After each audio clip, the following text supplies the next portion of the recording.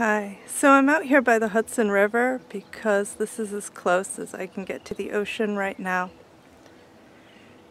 I came out here to recite for you a poem. This poem I actually wrote back when I was a teenager. I went with a youth group down to a naval base in Virginia. We toured the naval base. During the tour, the tour guide was telling us all about the different ships and things. And he told us about this one ship that was pretty much remote controlled.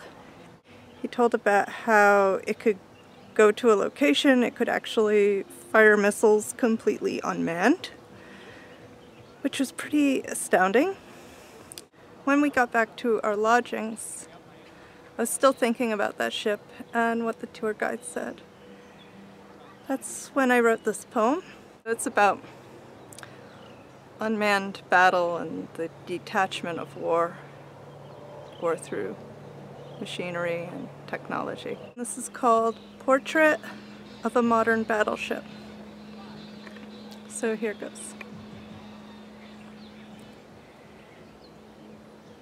The fearful moon hides beneath the mist. Across the sea I hear the hiss of the lurid battleship returning from the war. Yet no man stands upon her bow.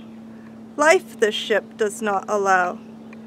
Neither does death even dare to prowl on this unmortal craft. The source is a far more merciless one that steers the ship and blasts the guns. Until the killing is all done, she will not turn back. A man sits behind his computer as in a game he carefully maneuvers, trying not to be the loser in a war of machines. He turns a knob, the ship goes forward, a button's pressed, a bomb flies toward a town on which fire is poured. He does not see them die. Thank you for watching.